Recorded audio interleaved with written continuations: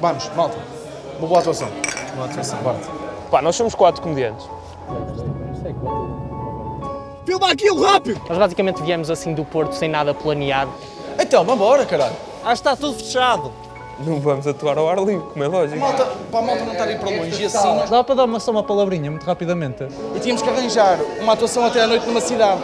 Quando acabar este projeto, nós nunca mais nos vamos falar, para não? Tu és tão estúpido. Alergia ao álcool. Eu estou eu estou todo fodido. Os artistas é aqui!